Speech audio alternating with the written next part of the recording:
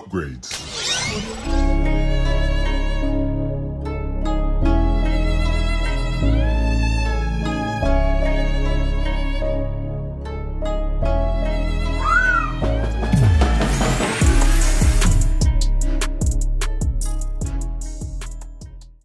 Hey, what's going on out there, everybody? This is Sammy Lake here representing Team JVS, here to give you guys another movie review. This is an anime movie review.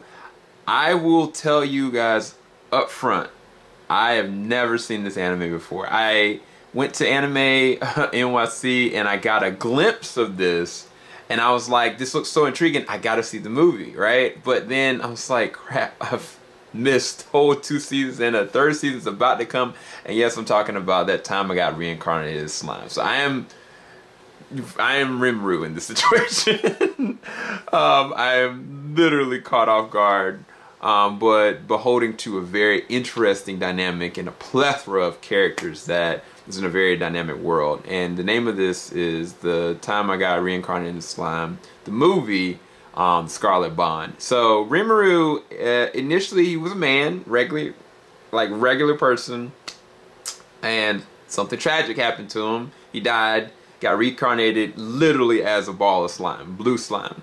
And, you know, he found a way of being able to put himself in the form of a body, but he's still slime at all times too. Um, and he ended up getting his own pack or squad, so to speak, and he's very powerful, like OP powerful.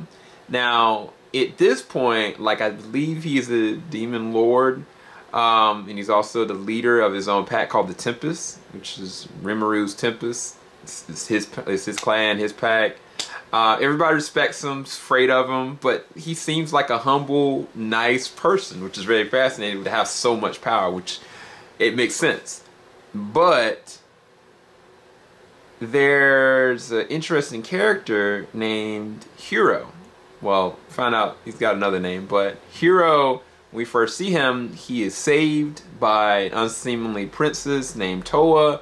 Towa comes from her own location and she's the queen of it. And she sees this man, she wants to give him a name, Hero, and she wants to preserve him and protect him. And even if it costs her her life, she's going to want to guide and protect her kingdom. Now, her kingdom, of course, is getting attacked. Hero just happens to be a part of the ogre clan, ogre village, that one of uh, Rimuru's clan members is like he knows. Like matter of fact, a lot of them are ogres, and they didn't realize that he was still alive as much as he didn't realize they were still alive. And so when they meet, of course, you know, hero asks for their help and Rimuru and his crew are there to help. That is the baseline of it. Now, what did I think about this? Because again, I'm a fish out of water. I have no preconceived notions about any of this. I'll say off rip is some very engaging characters. One thing that I found fascinating, they spent so much time giving good character development for a character like Hero. Like, and I kind of feel like if you know, Rimuru as a character was literally killed and made slime, then he's got to have a pretty interesting character arc. And then throughout the course of this, like just using some of the ogres for example, it seemed like all of them kind of found each other, so to speak, even though they knew each other younger.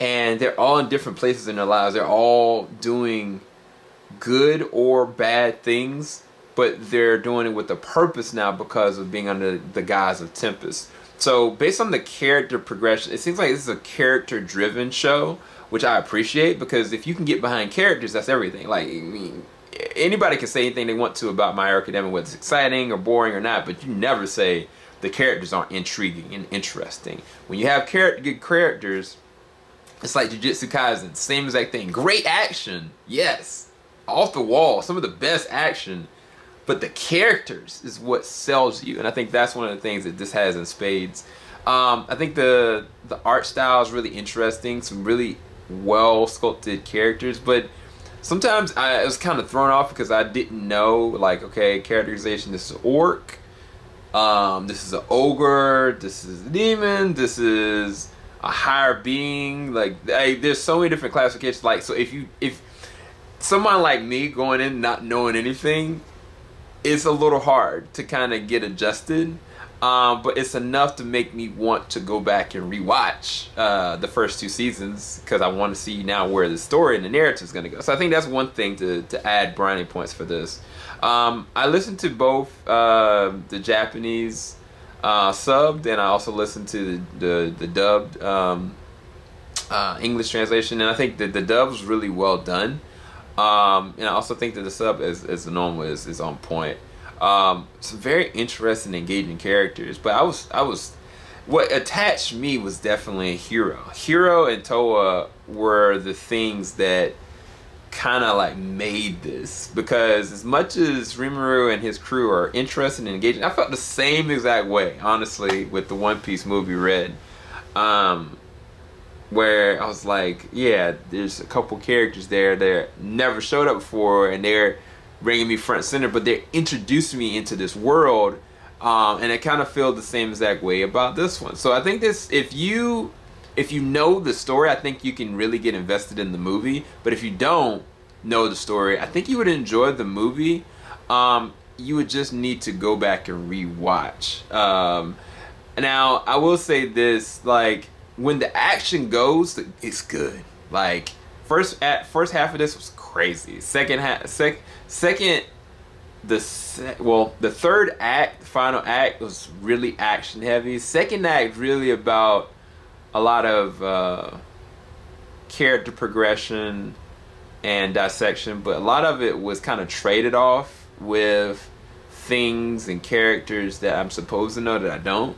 Um, it kind of lost me a little bit but it still kept it engaging because I liked the characters.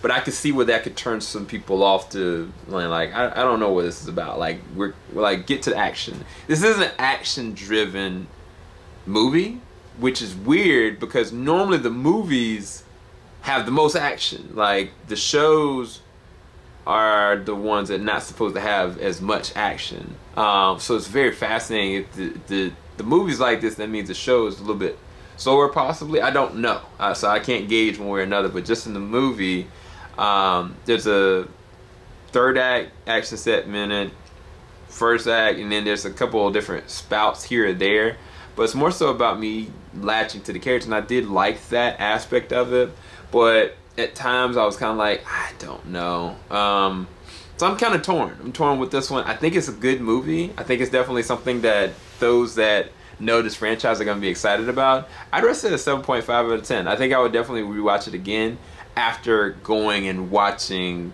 the first two seasons. But going in code, I don't know if that's necessarily a good idea. Let me know what you guys think of it. It is right now, I think, available. But go and check out um, the Scarlet Bond and let me know what you think. Make sure you like, subscribe, hit the bell button. Thank you so much for watching. Keep it locked. JVS Swing will stop. Peace, people.